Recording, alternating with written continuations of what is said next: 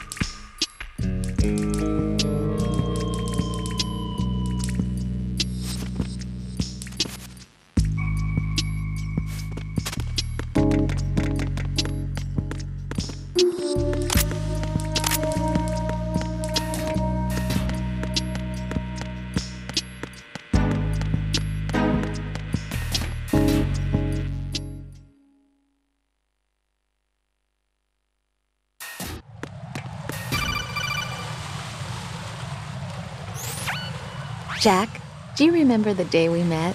I'm kind of busy right now, Rose. You're right, sorry. I do remember. It was right after I transferred to New York. There were all these tourists around you in front of the Federal Hall. A group of middle aged Japanese ladies came up and asked me which building it was that King Kong was climbing in the movie. hold you I my said it was probably the Chrysler building. And then you showed up and started mouthing off. You were like, no, it's the Empire State. I said the Chrysler building was in Godzilla. We started arguing, and I forgot all about the tourists. I was insisting that I was right, and you were doing the same. The next thing we knew, the Japanese women had gone away, and we ended up going to the Skyscraper Museum to see who had the better recall. We argued all the way to Battery Park. And for nothing. Since the museum was closed, we went our separate ways from the museum. And then I found you again by coincidence out in the base corridor. An amazing coincidence that we were actually working at the same place. That night we went up to the top of the Empire State. It was so beautiful. I could look down on the Chrysler building from 120 stories above ground. I felt so cute, overwhelmed. bear. I didn't care anymore who was right. And that was our first date. We watched King Kong in your apartment a bunch of times that night. Didn't sleep till morning. Hmm.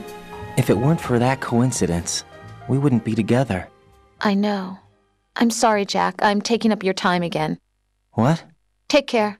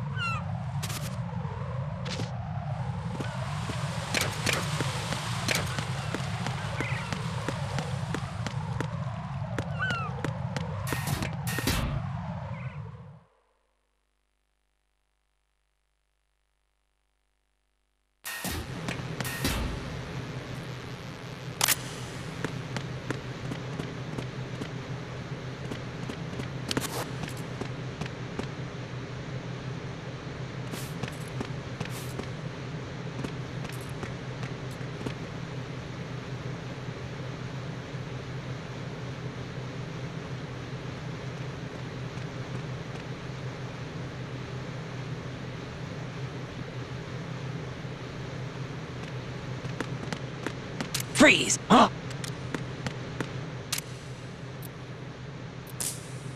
Don't kill me.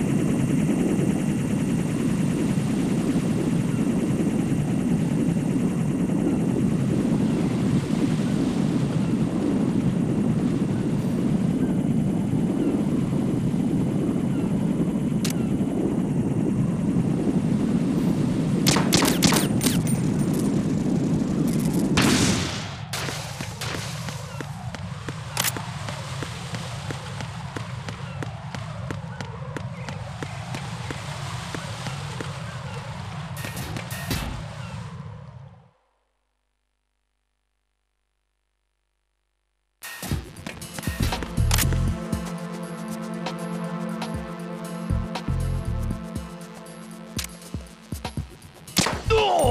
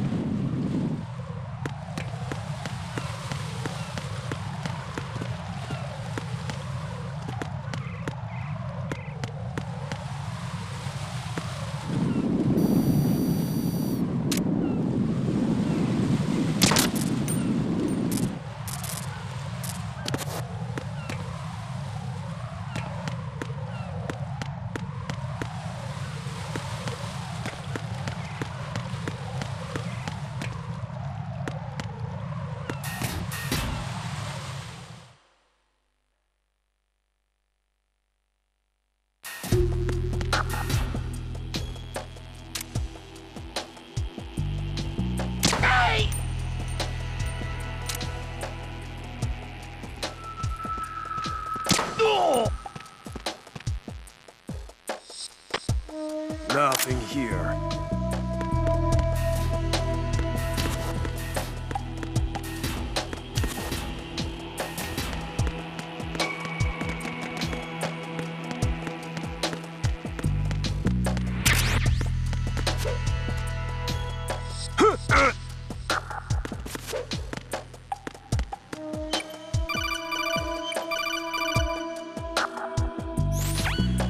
Raiden, at your feet, there's a hatch for pipe or gauge maintenance. Face the hatch and push.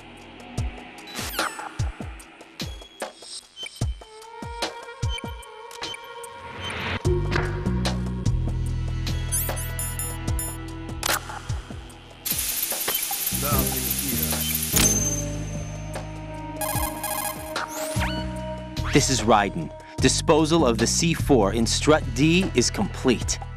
Explosives were planted on the maintenance hatch. Good work. Only one more left to go. This is Pliskin. Do you read me, Pete? I'm here. What's up? Raiden, you need to hear this too. I'm listening. I checked out the bottom of Strut H for you, Pete. Wait, what's this about? I asked Pliskin to look around. Knowing Fat Man, I can't shake the feeling that all the bombs so far were just wrong. So, did you find anything? Yeah, a hell of a lot of C4s packed into the bottom of the strut. Pete called it right. I knew he had the real thing up his sleeve. So, all the other ones were dummies? No, they're a threat, all right. But the detonation wouldn't be enough to destroy the entire shell. But the C4s Pliskin found would inflict serious structural damage. That's not the bad news either. These are sensor proof. What?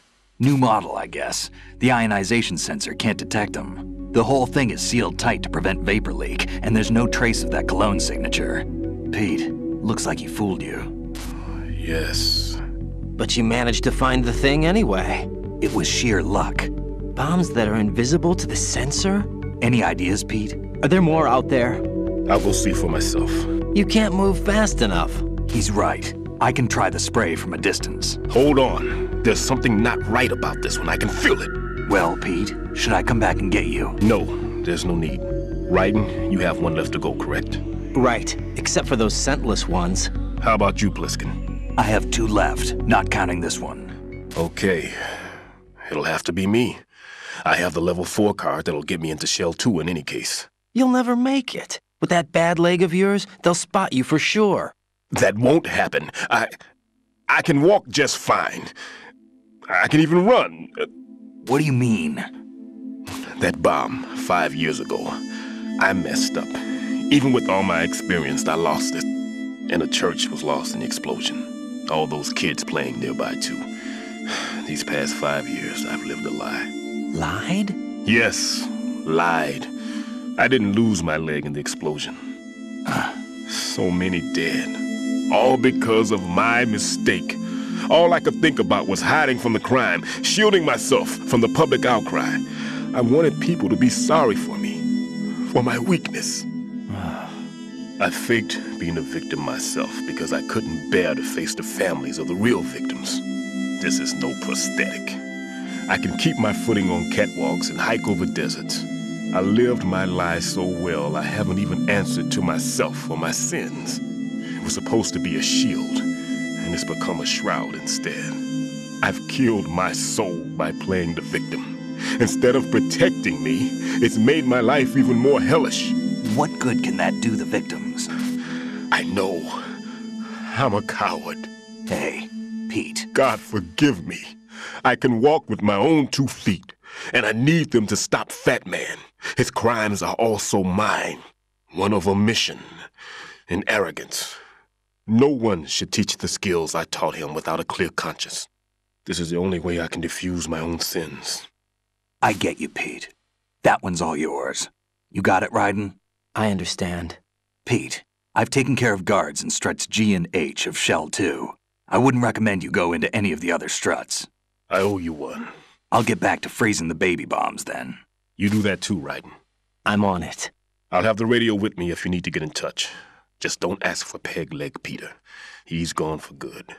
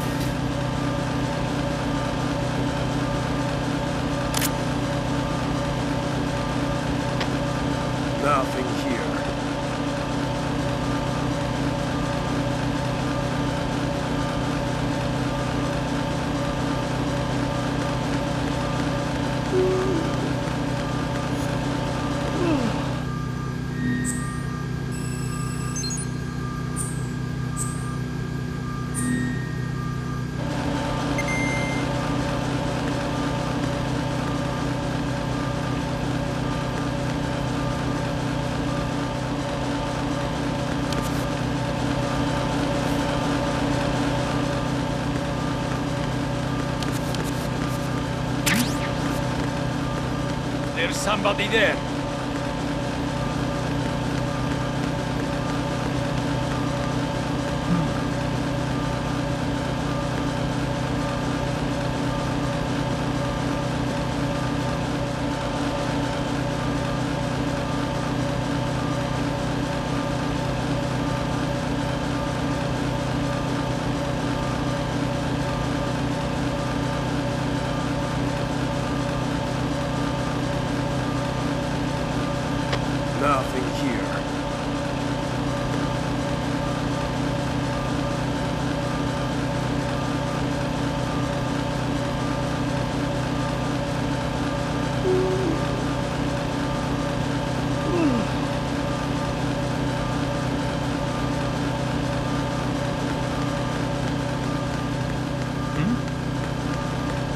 Somebody there.